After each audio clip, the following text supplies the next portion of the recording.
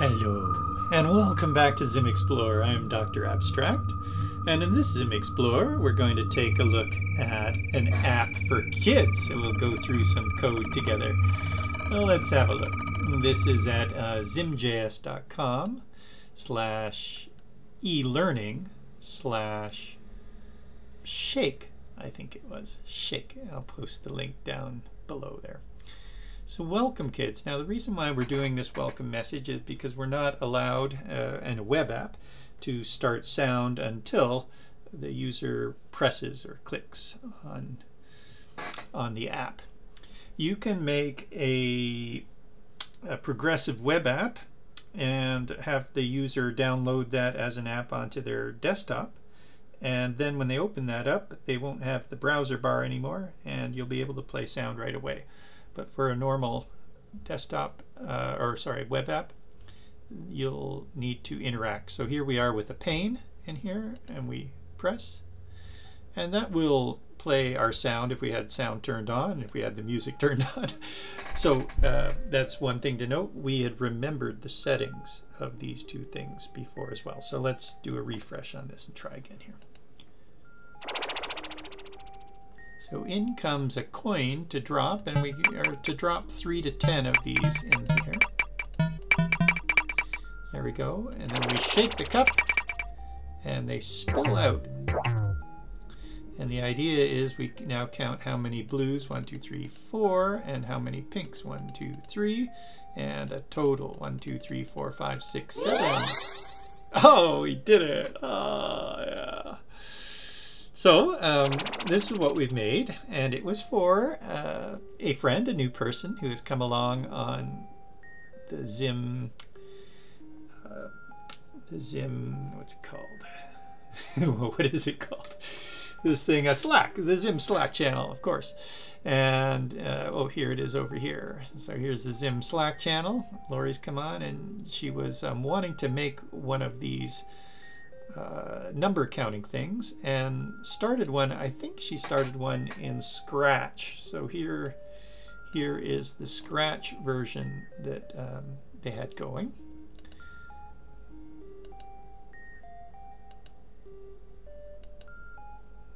Uh, sorry that sound is still going from my other one there isn't it? And this was underway. What do we have to hit the spacebar? Ah, there we go. There, tilted out. And in behind here is, see inside, is a bunch of building blocks that were done in Scratch to make this happen. And I think each of these things has building blocks on it as well, perhaps of different types or maybe copies. Various animation steps and little things that you can drag around parts there. So I don't know too much about Sprite. Let's pop pop that out. Uh, page. And let's turn off our music. Ah, there we go. Background music. Uh, this is the, the Zim version, and we may have gone a little bit overboard, perhaps, uh, in the animations and the spinning and the, the colors. It's up to 10 of them there. And when we press this shake and spill out. We can also sort them. So there they are now sorted. It's a little bit easier to see that there's four and six and way. And if we want, we can. Yay! So uh, let's go in and take a look through the code. As we were building this, we were aware of two things. One is uh, Lori, I don't think has done much coding in Zim, is, is new to Zim. So we were wanting to help her see how to code apps like this. And we were also um, aware that we were possibly in comparison to the complexities in Scratch, like which one would be easier, which one's not. We've done a number of uh, features like a little Angry Birds type game, in Zim versus in Scratch, and it appears that Zim can be simpler. Uh, but at the moment, it's not really comparing apples to apples in terms of the app because we did go sort of all out to complete the app in a variety of ways and added bells and whistles. So it ended up, like I said, uh, being, I think, more complete or more complex than we had intended. Initially, we thought we would just show how to drop some things into a cup and spill.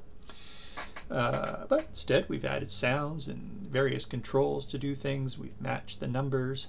Anyway, like I said, yeah, we did say we were going to go to some code. You're probably all waiting to get into this code. So here we are. This is the Zim template, which you can get at the code page. Uh, here's Zim, and hit code like that, and hit copy. That copies the template. Uh, this might not be the exact template, but it's something similar. We're bringing in Create.js and Zim. Zim is powered by Create.js, which gives us a bitmap object model for the canvas, a bomb. Inside of here, we are going to bring in our assets. And for these assets, there's a, a goodly number of them down here. We could have made this with a loop, all of these numbers here. But uh, we also have the asset manager, or what is it? I can't remember. If, I don't think it's asset manager, no. Let's see, where do I want to go? Oh, see Daisy, desktop reveal. This is not where I want to go. Oh, it's way over here. Okay, my apologies. I was thinking we just go back and see our browser. Um, under code again, after the template, down below just a little bit further, our tools. And in tools, we have the asset list. That's it. So asset list will allow you to browse any directory on your computer and then you select the files that are in there and it will make this thing for you right here. It makes all of this stuff in that order. Uh, it doesn't make the font like that, so when we we want to bring in the font, we need to do that custom. But all these things uh, were given to us in that manner. Those are all in the assets folder. Don't forget, though, to bring them into the frame. So sometimes it's easy to say, oh, there's all my assets. I can start using them. To use an asset, it would just be like this. Asset, and then the name of the asset from something like this. Dot center, and there it is on the stage. So that represents the bitmap, the picture, and we're centering it on the stage like that, and that would put the cup asset on the stage. So sometimes it's nice and easy to see them here and just want to use them right away, but there's one extra step, and that is we need to load this. This is just an array. We need to load that into the frame. So take a look. There it is right there, assets and the path that they're in. So we almost always have these guys because that's really part of the template. That's our backing colors and our width and height and the type of we're fitting to the, the stage. The next parameter is the assets, and then if an optional path if you want. We're also passing in a waiter because we've got sound. This is these are sounds. Because we've got sounds, it may take a little while to load or a little longer to load than if we just have a few images. So we're passing in a waiter and we're matching the waiter's background color to our app color. So don't just sit there and add a waiter, new waiter, that's easy enough. Hey, but that's always orange. If your if your app doesn't have orange in it, you may not want it to be orange. Just have a little bit of pride. Get a get a different color. I've seen too many orange waiters out there. Why do why why do we even choose orange as our default you know color go-to color? But anyway, uh, it is. So go ahead and change that color if, if you want. We can also pass in a progress bar in a very similar way. The progress bar is either round by default or it's a long bar by um, if you put in know, type rectangle or something like that or bar. So you can do a progress bar as well and that actually keeps track of how much is loaded. If you're not too worried about that, uh, the waiter is just three little dots that go doot doot doot doot doot doot doot doot doot and it just repeats until it's loaded. Usually we can get away with the waiter these days, but if you do have a lot of assets, you maybe could consider the progress bar. All right. So here's our, our frame. there was our frame. So, somewhere's our frame until I clicked on the collapsing of the frame. There's our frame. So we've made a new frame, frame.onReady. ready. So when we're ready, then when those assets have loaded, when we've made the stage, we're all ready to go. We call this arrow function. What the heck? There we go. Arrow function or a function literal. Doesn't really matter. Anonymous function we're saying uh, Zog is the way that we console.log, short little console.log in there. You can also console.log different colors like red or blue or green by putting a little letter there. That's handy. And your console is F12. F12 to see console, which is actually in, we mentioned this right in the template, but like I said, I don't think this is quite the real template. This is um, the way I work in Atom is I make a new file and I just go temp and it starts to, it's a hotkey for my template and then it's a sort of a reduced minute, like a, a smaller template. We're keeping local variables of stage, stage width, and stage height. Just watch it. If you are doing the full mode, you want uh, to use let here probably because the stage width and stage height might change in your resize event. Anyway, so sometimes in the template we make stage constant because that hardly ever changes and then um, just automatically set those even though in the fit mode those won't change and they can be constants. If you happen to go to the full mode you would want to use let. And then we're grabbing the width and the height. So this is all considered part of the template. Here's our intro. Um, we can't move, we can't play sound as mentioned, so we're going to create a pane. This is a nice easy way to do it. There's a new pane. We're, in this case, making it stretch past the stage. Uh, we make that a little bit bigger than the stage so that the, the background shadow doesn't get, um, doesn't show. Uh, its little corners, that is. So this is the pane. Shall we see this? Baroop, shake and spill. There it is. And you see this background shadow along there. Uh, this pane is going kind of off the stage so that we um, see that that's like a straight line going right across. Panes work by, they'll automatically close if you click on them or click off them. So there you go. Either, either one is fine.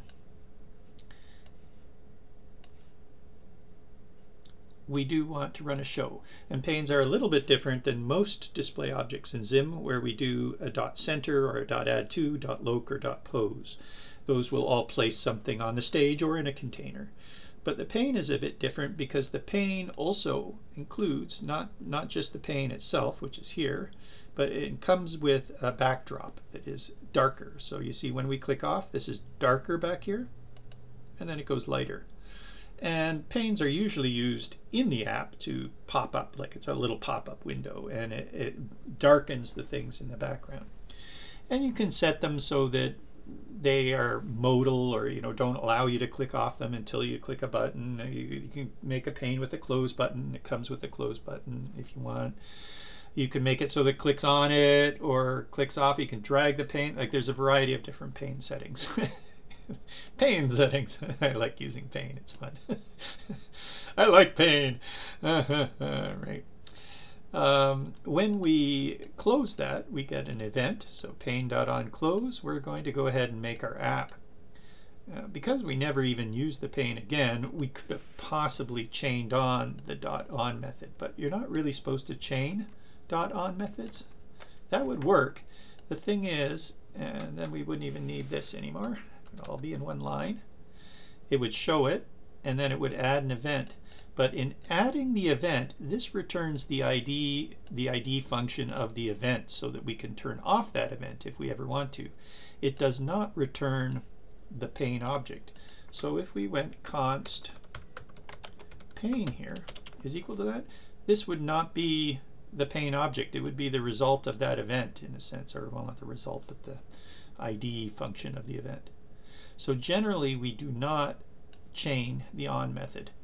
So even though we could have and, and not stored it, I decided not to because it's um, it's dangerous. If you know what you're doing, go ahead. But if you don't know what you're doing, then it's usually better to keep your on as an unchained method. All right, on comes from create.js. It does not return the object. We can't chain it, or we're not supposed to chain it. Okay, So anyway, we call make app, and here's the make app. And in here somewhere, we're going to play our sound. Where's some sound? Here's some sound right here.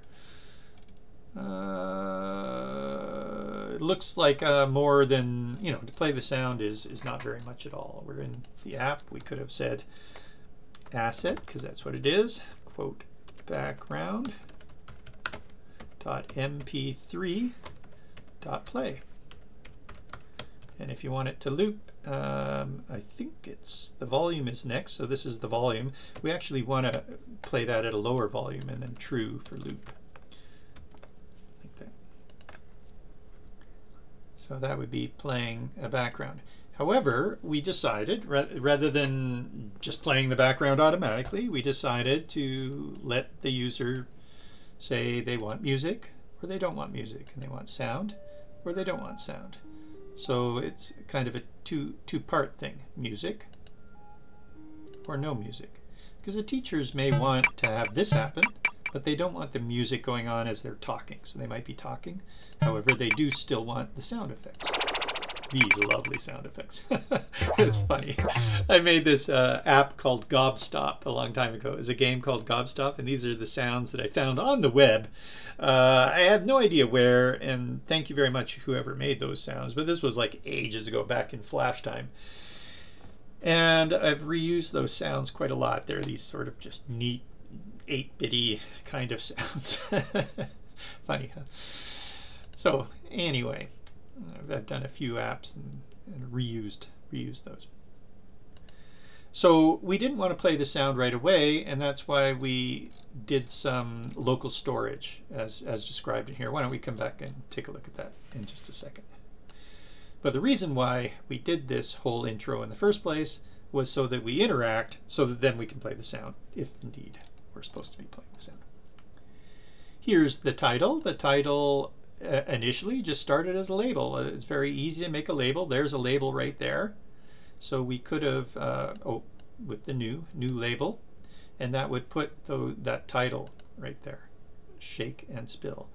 We did set the style somewhere, didn't we? Uh, here it is, Style Rubin. So we were using the font of Rubin inside of the pane as well. Or you could have uh, taken this. Well, you can't you can't apply a font here. The pane is just sort of like a pop-up window alert. It doesn't really come with style usually, but we can override the, the basic font by applying style like this. So uh, labels, though, certainly have a, a, style or a font parameter. So we could have added the, the Rubin font in the label. In other words, if we wanted the title, that's what it would look like normally. Hey, it's a label there's the text of it. We've got a size, and even all this stuff. This is uh, ZimV. We didn't really have to do that. We could have just put in the parameters. I think 60 is next, and I think font is next. That's great. And then the color. Those are all uh, like that, and we would dot center that, or, or wherever, put that there. Okay, and that would be the label, all simplified. See, not that hard, huh? Um, but we decided that we would animate the label. Ooh, so we're, we're doing something a little bit different here. Not sure how much I... All right, okay, there we are. It's undoing there. So instead, we're making label letters. Label letters breaks up a label. You can pass in a label, and it will break up the label into different, uh, different labels. Each letter gets its own label. We positioned all of them, though. This positions all of them, and we can animate them in a sequence. So this is a little sequence saying every uh, 50 milliseconds, start the next animation. So it's basically going to animate each of those letters from uh, minus 200 in the y, so from up above. So 0 is right at the top, negative is off the screen up at the top, positive y is going down in, in Zim and most, uh, most interactive media worlds. So we're animating starting from up top, we're easing with a back out, and that's what gives us, it comes down and then goes back up. So if I'm going left to right, it would go left and then it would come right and it would come back like that. So that's a back out. in 0.4 seconds. And once again, we're sequencing them. So let's have a look and see what that gives us here. Yeah, isn't that neat? And here, let's try it again. They drop down from the top and they sort of come down too far and then go back up one more time. Nice, huh? It also gives us the advantage of spacing these letters out a little bit. If you do a normal letter, a normal label, you don't have letter spacing. You can't do kerning. But if you do label letters, you can actually specify a certain spacing and even a custom array of various spacings. So you could do kerning. That means if I think that that looks like too big a space right here, or this one, or maybe we should make this a bit bigger in here, then we could do that with custom um, a custom array. All right, this one is animating it as well. Watch how it animates in. Wow, that's an elastic out. So that's elastic, and we're also playing a sound there, if indeed we have the sounds turned on. So that's that one. Here is the instruction text. There it is. Backslash n will make a new line. We do have line height is available, just not letter spacing, unfortunately. And a, default canvas label doesn't have that. And we're animating that in as well. Uh, we're fading it in from an alpha of zero to whatever the current alpha is. Not all animates have froms, but they can be handy. If you place something on the stage where you want it to end up, then animate from off stage or from somewhere else, from an alpha zero to an alpha of one. This well, this happens to be an alpha of 0.9. Oh no, alpha of 0.8 and we're animating from uh, 0 to 0.8. And we're waiting. Okay, great, some animation. Now what about this sound? What are we doing here? We've got two things that we're wanting to remember. Is the music on? And is the sound on? So we're storing a variable that will do that for us. We're also checking local storage if it exists, and we're checking to see if we've already remembered whether it's on or off. If we have, if there's a value in there, oh, you know what, uh, this value, I've got to, we've got to watch it, we're storing true and false. But actually, the value in there is quote true, quote false. It will be stored as a string or as a JSON, um, a JSON value. JavaScript object notation. So that's a little bit different than actually true or false. So this is as long as there's something stored there, whether it's true or false, this will be uh, that will be true. And then we're parsing whatever's in there. The local storage cannot hold a boolean. Uh, true false is a boolean. It cannot hold a boolean. It cannot hold uh, an array or an object literal. We have to JSON um, stringify those to store them in there. And we have to JSON parse those. Here they are being parsed in this case, turned back into a Boolean object. So that gets us whether we've uh, had something remembered.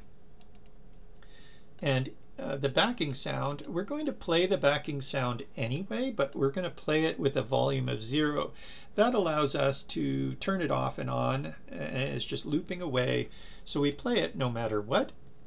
But if we have remembered the music and the sound, then we're going to fade in the backing sound. Check that out. Normally, you could just say backing sound dot play would be fine. So we could just say, oh, uh, except it's got a volume. So, oh, sorry, backing sound. We can't actually say backing sound play. We can say the asset dot play. Just watch sound. It's a little bit tricky. You can play the sound asset. And what that returns, what this returns, is what's called a Create.js abstract sound instance. So that's the thing that we can change the volume on. We can set the volume here, but if we want to change the volume later, we have to store it in a variable, the results in a variable. This also allows you to find out if sound is complete. It has an, a complete event. It allows you to change the panning of sound, etc., etc. So this allows you to interact with the sound afterwards. Otherwise, uh, many sounds we just play. But in this case, we wanted uh, to be able to control this backing sound, turn it off or on. Not only that, look at how we've done it. So if we wanted to, down in here, rather than doing the fancy animating, we could have just said backing sound dot volume equals whatever, 0.2 or 1. 1 would be the default. So if if we've both remembered music, as in we want the music to be on and we want the sound to be on, because both those have to be true, then we could just set the volume up like that. But what we decided to do was animate the backing sound to a volume of 0.1, so from 0 to 0.1. Um, in two seconds. So that's like fading up the sound. It's, a, it's not that much extra to do that. And when we click that button so that we don't want a backing sound, we'll, we'll listen to it. We can see hear it animate out as well. So we didn't choose the easy route. We chose an extra couple steps to animate the sound. Now, as mentioned here in Zim Animate, you saw Zim Animate happening. We're chaining the Zim Animate onto the label. A label is a display object. It's something we can see.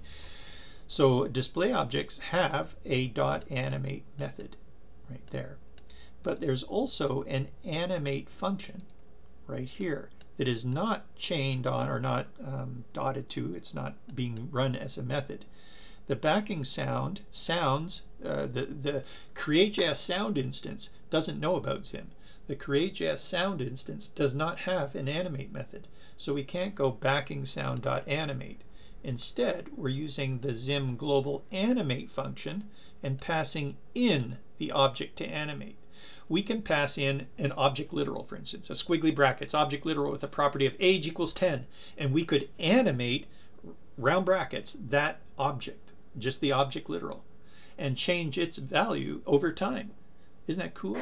So the global function can be used to animate prop properties of objects that are not Zim display objects. But if we're animating a Zim display object, then we just use the animate method, such as this title being animated. You can actually use the animate function as well. You could say animate some label, and then the properties. And that's how Zim started. Zim started as a library of helper functions for CreateJS. Isn't that neat? So we didn't even have there was there was there were no uh, Zim objects like containers and that kind of stuff. We would um, animate CreateJS objects. Uh, we did have a circle, I guess, and and um, event, and, and we would say, and we would drag things as well. Dragging is also a method like that. We would say, drag round bracket circle. Now we can say circle circle.drag. Uh, we used to say animate round bracket circle and do change these properties, but now we can say circle.animate. So in Zim 4, Zim version uh, fourth, uh, Zim fourth, we introduced the Zim forth methods, and that was taking all of our functions that were controlling CreateJS objects, and we moved those CreateJS objects into Zim objects. We um, extended the CreateJS objects and made Zim versions of them so that they could take all of those functions as methods, and they're called the Zim forth methods. There's like 30 of them or something like that. They're very common. Center, drag, gesture, move or MOV, all of the short chainable methods, uh, et cetera, et cetera. Um, all right, bit of history. So here we are. If we need to animate a sound, it's not a Zim display object, so we use the animate function. And let's have a listen to that. So we refresh here. Ready? I'm going to bring in the music. So it animated up, and I'm going to turn it off.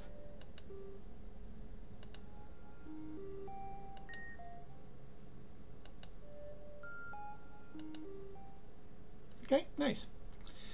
Little little fade. Uh, aside from the background sound, if we if the sound is on, we want to wait one second and then play the shake sound.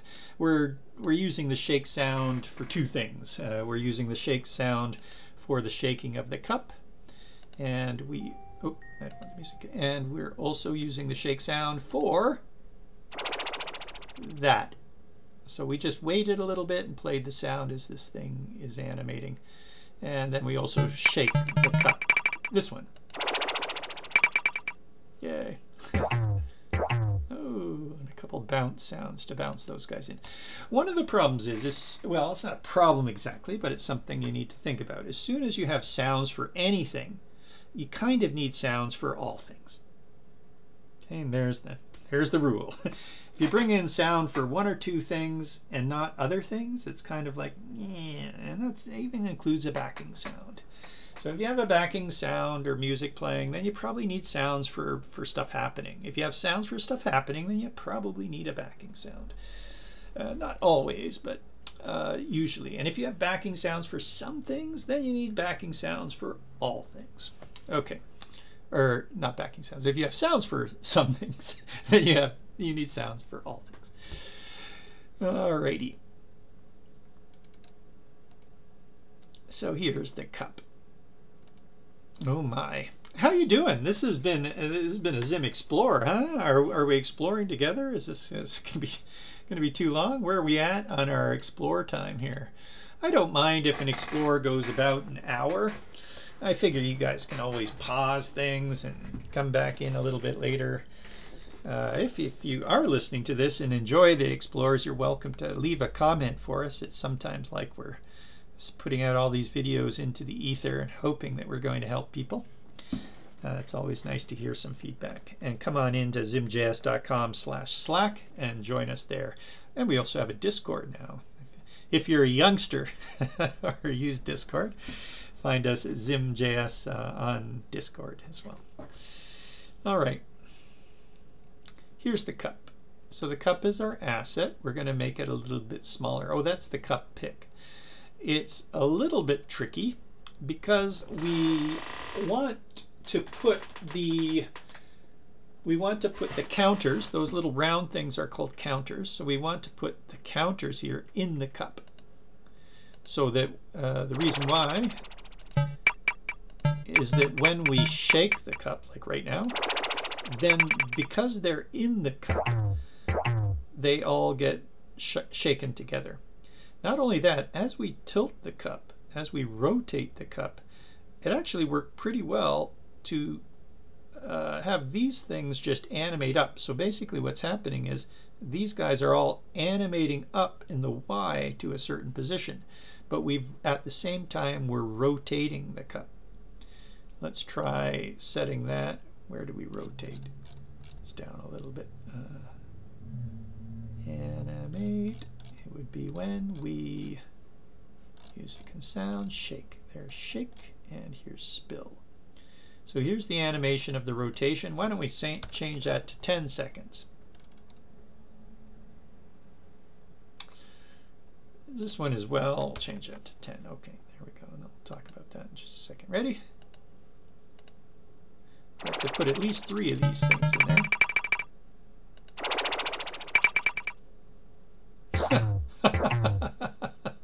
okay, nice. Oh, look at that uh, bounce out. So that's a bounce out where it did the bounce. Um, but as you can see, it, it, all these things, these things animated faster. We didn't change the speed of these things animating out, so that was the problem. It, it rotated really slowly, and these things all animated out really, really fast. Maybe we should try that. Where, where do we animate the counters out? So here's here are the counters. We're waiting, props, we didn't even put a time in. No, okay. So the time was default 1. We will ch change that to a time of 10, I guess, as well. Let's see what happens now.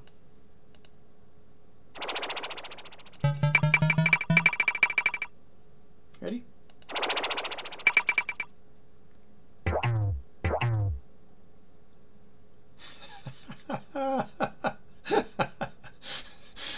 In space. Shake in space! Isn't that neat?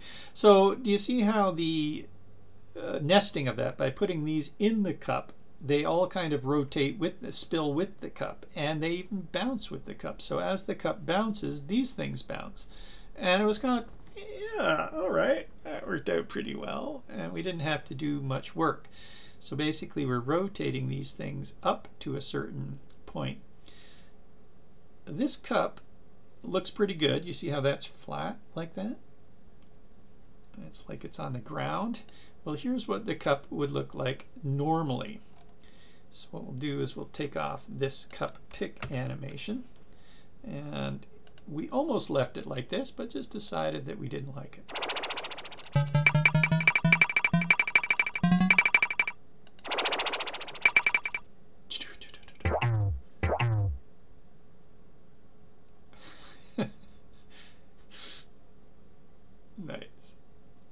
So there is the cup. And as you can imagine, all these things dropping into the cup. Look how the cup looks, you know, nice and square there. But if, if it were on the ground, if this were the ground, we were about to like lift the cup up a little bit or drop these down a little bit so it seems like they're on the ground. And we thought, well, wait a minute. If we did have a flat ground here, what what is this doing sticking up like that? I mean, it's not too bad. It could be a three-dimensional look of it, and, or, or, you know, who knows.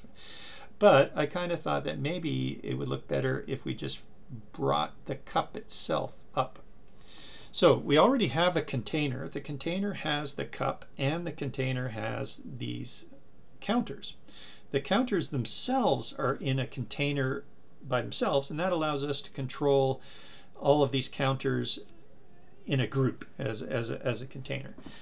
Um, for instance, we can loop through them and find out what colors they are. That's easy because they're all in their own container. If they were mixed in with the cup, then we'd have to say, okay, well, loop through the whole cup, but ignore the, the actual cup picture, and then everything else is a container. And, you know, that's a bit awkward. So these are in a container, and the container they're in is in the container for the cup, along with the actual image of the cup called cup pick or something. So what we're going to do is we're going to animate the whole of the container cup, the cup container, but then animate the cup picture back 10 degrees. And that's what this is doing right here. So there we are animating the rotation of the cup picture minus 10 degrees over that time as well. Let's take off the slow-mo. The slow-mo uh, you know what? We'll leave the slow-mo in one more time because I want to just point out where it's rotating and a little bit about how it's moving. So we refresh here. The, the cup wants to tilt about this corner roughly. So we're not tilting it about the center, then it would just spin on the center. And this is where the registration usually is for a cup picture, would be up in the top left corner. And we certainly don't want it tilting or spinning about here, then the back of the cup would like tilt up out of the out of the picture. So we've moved the what's called the registration point to this corner so that that's where it's tilting from. But if it were to do that, the cup would then be about this long.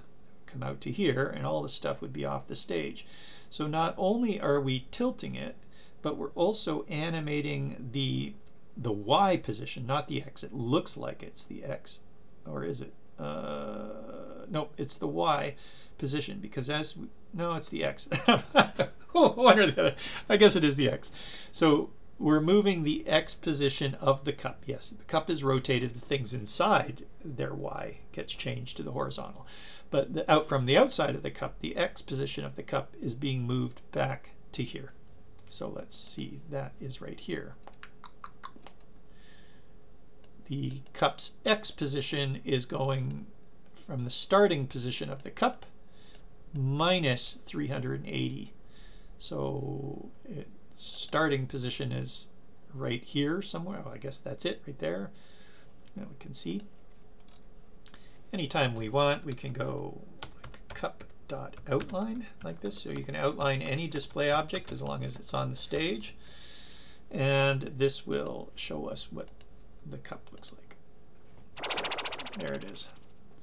I guess the picture had some shadow on it or whatever, some extra space. So there's the registration point, and that's where we're rotating about. That's the zero zero inside the cup, but this is the registration point right there. So let's try it. Uh,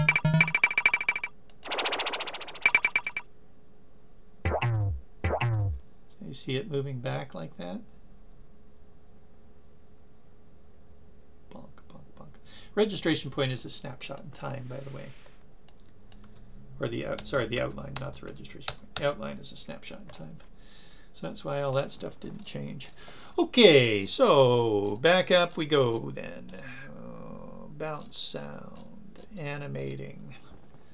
Right, what do we animate here? Oh, that's dropping a coin. Note that for each of our sections we have little titles. So as I scroll back and forth here, if you sort of look at the little titles, and the titles often will mirror a function, but not always.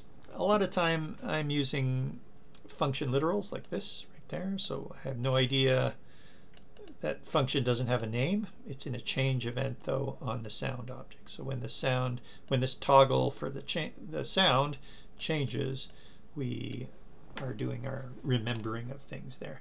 But anyway, we're for main sections, I've brought them in here with the title.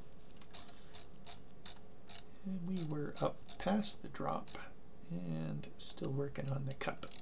So the cup's arrangement is a little bit more complex than it might be we are asking for the cup first and scaling it a bit smaller. That will give us a width and a height. And we can use that width and height to specify a container of that width and height. We could have also made a container and put the cup right in it. And then the container will take on the width and height of the cup. But as soon as we go and add more of those, um, the counters or the counters into the cup, then the container would take on the size of the cup and the counters. So if you don't specify a width and a height of a container, the container will just grow to fill its whatever's inside it. And we may not have wanted that. We want better control of the size of our container. We're setting registration point on its bottom right hand corner. If the thing is changing its size, the bottom right hand corner might change. I mean, there's there there might be things that will happen. So basically what I'm doing is I'm saying, okay, let's get the right size for the cup. So we're scaling it. And then based on that right size for the cup, we're making a container. And we know that container will match the size of the cup. We're then setting the registration point of that container to its bottom right hand corner. We're positioning that um, 100 pixels from the left and 100 pixels from the center Huh. Uh, down, that is, yes. So down and then 100 down. So let's see. If uh, pose is wonderful, you should definitely be using pose. So basically this is saying, here it is. There's, uh, well, maybe start it. Uh, I took it off, darn. It was 100 pixels from the left and 100 pixels down from the center. What the heck? It's not, which way is 100. So here's the center. I wouldn't I wouldn't have said that that was posed 100 from the center. Let's just have a look here. That's what it says though. Outline. Oh, I know what it is. When you're doing the center, yes, that that that is correct. When you're doing the center, it's the general shape of it, you would center that. So if we said zero from the center, it looks like this. And let's do an outline on this outline. Usually it's from the, the edge of, of the object that the pose is working. From the edge of the object and from the edge of the screen. So this is 100 from the left. So it takes where the bounds of the object are and is and moves it, bounds are, and moves it 100 from the left.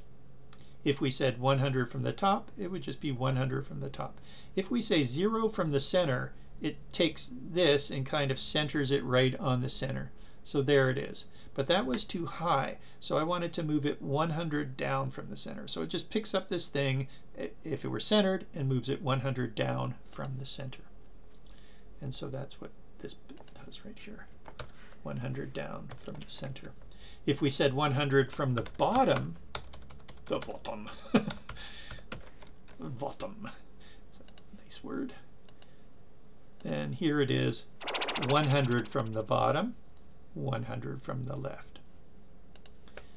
But if we say 100 from the center, or middle, And by the way, the capital center is the same as quote center. For the longest time, we just had, we would put quotes there. And then other places, other languages, other whatevers have constants that you can use like that. So we decided that we would make a constant for these positions like that, so we don't have to use the quotes. Some will even have constants for this, and it would be mouse down. Or worse, it would be something like, uh, I don't know, uh, events, event dot mouse down, like that. That will happen where an event object has the constants for us. And it's like, okay, why bother? You know, come on, writing that is, you know, harder than just typing mouse down.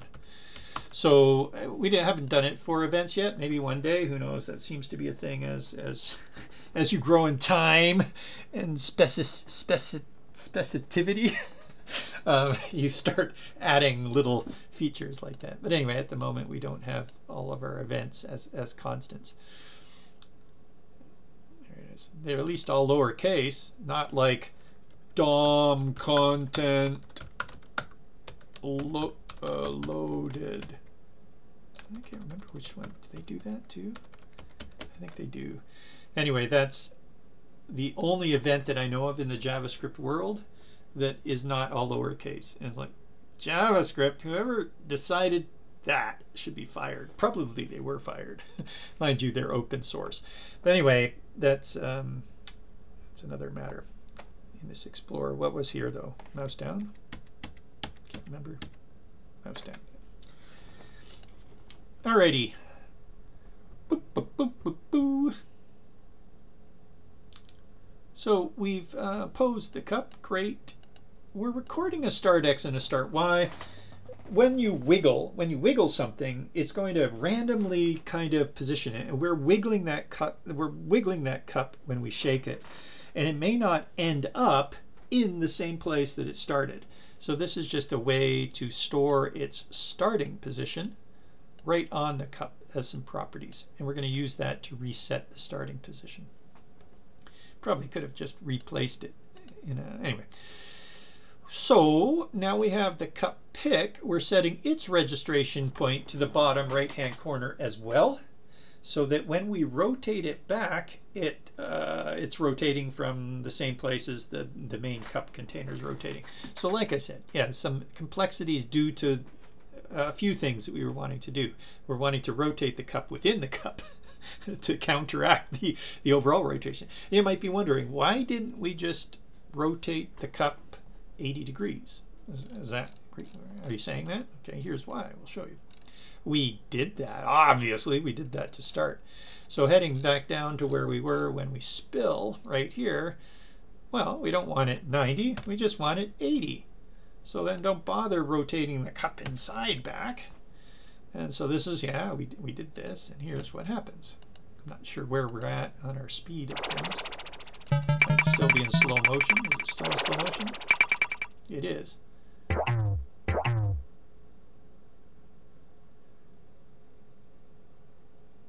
So far so good, it's fine. But here's the problem, right there. So we have not rotated the cup. Like the cup looks great, it's nice and flat, but unfortunately, these are all at 80, 80 degrees rather than 90 degrees down here. so it's kind of like, oh crap. Well, what can we do about that? The options were we could have taken these out of the cup and just rotated them on their own. I wasn't even sure if the whole animating vertically and rotating would, would work, but it worked so well, it was like, okay, nah, I may as well not play fiddle with that. Basically, the solution is to just keep on rotating the container 90 degrees and rotate the picture of the cup back. So that that was the solution. so that so that this didn't happen. Obviously, I don't want to be trying to calculate what 10 degrees on all of these things were. So it would be much easier to just say, okay, let's. Uh, Let's keep the cup rotating at 90, or the cup container, and we'll just rotate the little cup inside back. So that's what's led to some of this uh, complexity here. Fun, huh? I'm awesome. Aw, that's sweet. Nothing like that when it pops up, huh? Thank you, Marat. Right on. Hope you hope you're listening to this. You'll see yourself pop up. More. Okay, uh, go. Uh, do I have to? go, go away. All right, where were we? We're up top here. I might have to break this Explorer into two parts, huh? I'm gonna put you to sleep. There's the title. We don't want to go all the way back to. It's like going back in time. No, no, no. The cup. Okay, so super. Here's the cup, and there's a, there we are making a counter. So, oh, there's one more thing with the cup. So we're setting its registration point, putting it in the cup. Uh, the cup pick dot on mouse down call shake. So when we mouse down on the cup, call shake. Shake. A tap would be fine too. Oh no, a tap is not fine. Isn't that interesting? Uh, so we started off with a tap. We have a short chainable tap, and that, that looks really nice. Dot tap. And we just put whatever our tap function is. There we go. So when we tap on the cup, call mouse down, or call shake. You ready? Let's try it. This was user user testing. The user was me. Was, ah, crap. Hang on. Let me just get rid of the outline. Where did we outline that?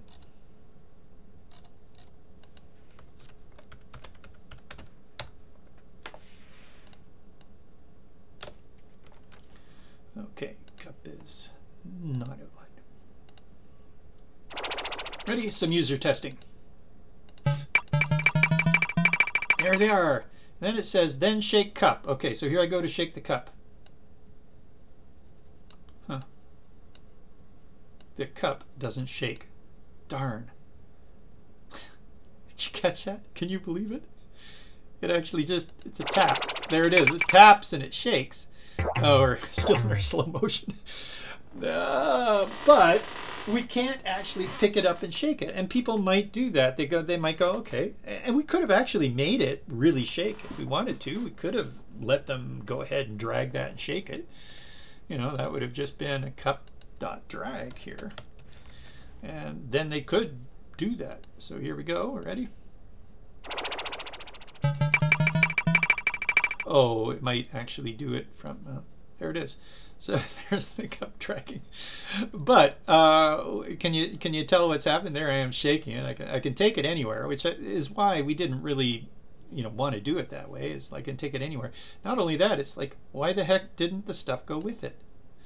Because the drag by default it drags whatever was pressed on inside of a container. Now do you see why? We've just picked up not the cup, but actually the cup pick which is inside the cup, centered on the cup, inside the cup. And that's great because if you have a container of monsters and you say monsters.drag, it would you could pick up any monster in there and drag it individually. That's the default. If you don't want that, you put uh, all colon true. And so what we've done is added to the drag saying, oh, no, no, no, no, not dragging the part inside the container, but actually dragging the whole container, please. And that would look like this.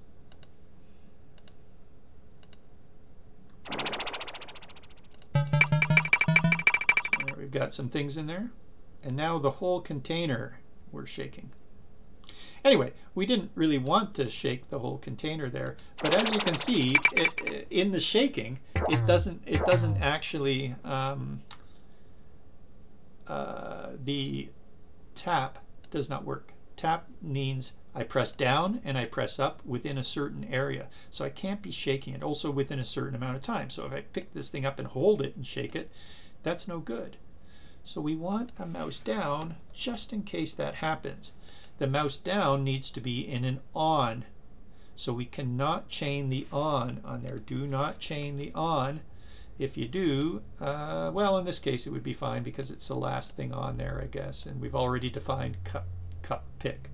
But anyway, it's just not a good idea to, to um, chain your on method. Runs into problems at other times. So we don't want the tap. We want the mouse down, and let's see what I mean by that. So we refresh here. We add some things. And remember before, when I picked this up and shook it, it didn't actually flip over, but now I'm going to try again. So I pick it up and I shake it. Left the drag on. All right, hang on. Take the drag off. Is this a comedy routine? That thing's still bouncing. Okay, so let's try this again. So we've taken the drag off and watch. Before, if I picked this up and shook it, it wouldn't actually go unless I added a drag, but we didn't have the drag because the tap wouldn't op operate. But here I'm going to try and pick this up and shake it. And look at that. It, it looked like I was picking it up and shaking it. It wasn't really. It was just because as soon as I moused down to start my dragging, it, it went, ooh, slow motion bounce. So that was user testing. We had a tap in there because it's nice and easy to change, but realized that tap wasn't what we wanted to do because of that. So we changed that to a mouse tap. Here's our counter, and we're also running up to an hour. So we've got the counter being falling and dropping. Why don't we just uh, why don't we just show you the counter, and then we'll leave the act the action of the of the dropping and how we filled the cup and how we shook the cup and all that kind of stuff can go into an explore two. Does that sound good? So the counter is just a circle. It doesn't have to be though. That's one of the things that we do in Zim is tend to abstract a lot and make these, you know, we use the gym, the gym, the Zim shapes a lot. And uh, unfortunately that means that people often will start making things that look like that with the Zim shapes. Uh, go ahead and use an image if you want. If you have a little coin, in this case it's not really a coin though, but if it were a coin, don't use a, just a circle. Actually bring in a, a, picture of a coin and use that. Like make it make it look real, make it look professional. We tend to uh, use the shapes a lot because uh, that's my style. I like I like abstraction. I'm Dr. Abstract. so there you go. Uh, doesn't have to be you though. Anyway, we've made a circle. We've located it at the cup's width divided by 2. So this is going to be inside the cup. So it's the x and y inside the cup, which starts at a 0, 0 in the top left corner, not the registration point. The registration point has nothing to do with the x, x and y coordinates inside of a, a container. So this is half over and then minus 100 up from its 0, 0 position. So maybe just to make sure that we remember that, here's the cup. I'm going to position it and then put, put the outline back on. hey, what do you know?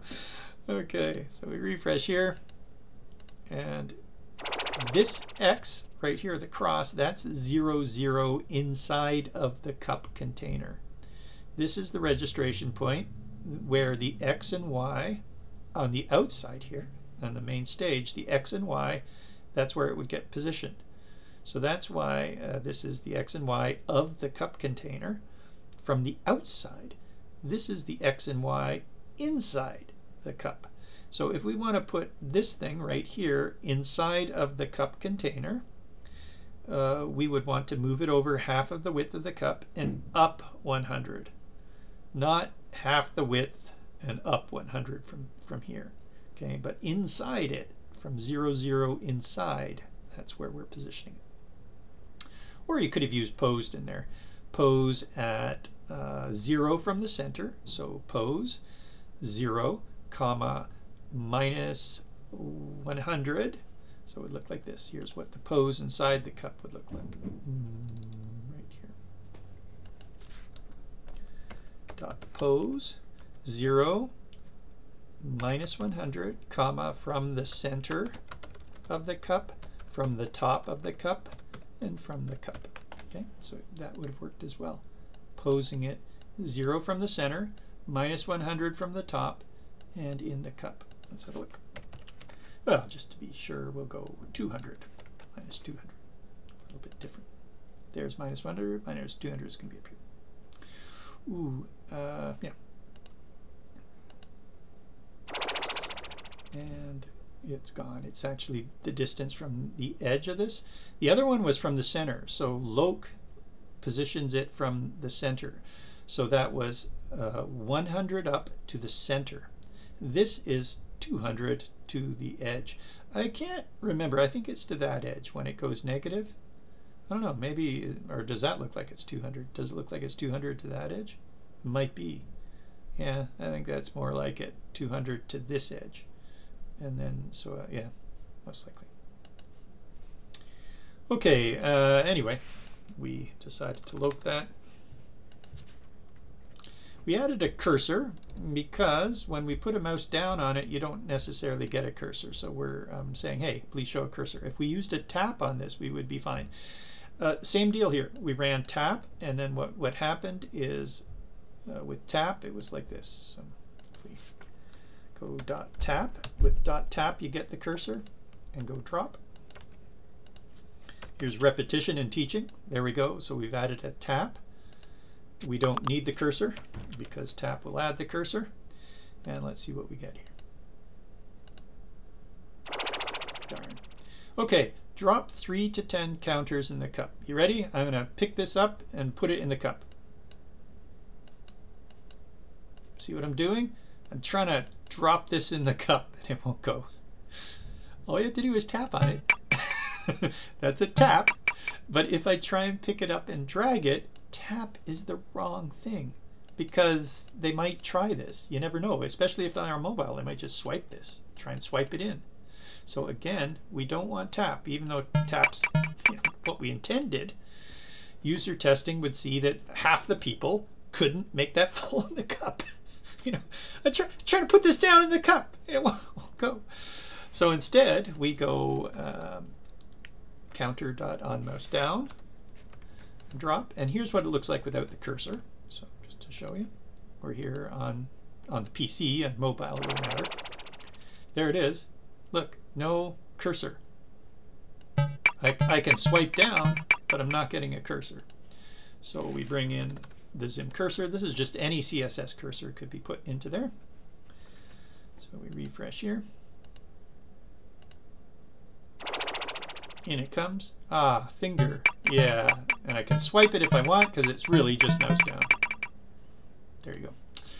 Okay, and we're going to see how to make that, uh, how the drop was happening, about various you know, things that are happening next We'll come in on a different Zim Explorer. So I am Dr. Abstract, and this has been a Zim Explore. Tune in to part two.